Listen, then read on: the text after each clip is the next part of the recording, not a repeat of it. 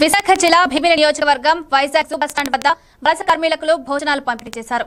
Vizag volunteers organisation నిర్వాహకులు సతీష్ ఆధ్వర్యంలో ప్రతిరోజు వీటిని అందిస్తున్నారు. భోజనంతో పాటు శానిటైజర్ మాస్కులు పాదరక్షలు అందించారు. వలసలకు భోజన సదుపాయం లేని లోటు వైజాగ్ వాలంటీర్లు తెలుస్తున్నారని వెల్లడించారు సతీష్.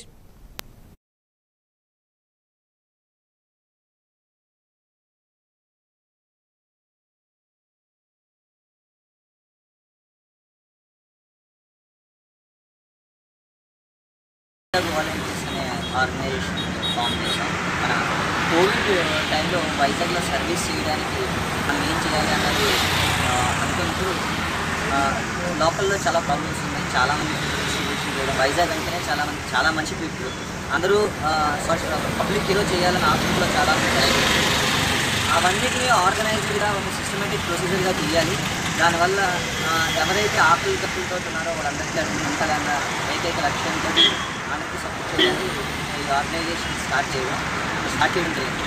ఆ రోజు నుంచి ఈ రోజు వరకు కూడా వైజాగ్లో చాలా ఏరియాలో ప్రతి ప్రతి ప్లేస్లో కూడా మనం అందరికీ కూడా ఫుడ్ డిస్ట్రిబ్యూషన్ చేయడం కానీ శానిటైజర్స్ కానీ మాస్క్ కానీ అలాగే నెససరీ గ్రాసరీస్ కానీ అవన్నీ కూడా సప్లై చేయడం జరిగింది. ఆ, రోజైతే మైగ్రెంట్ వర్కర్స్ వరకు వస్తున్నారు. వాళ్ళందరినీ సపోర్ట్ చేయాలి.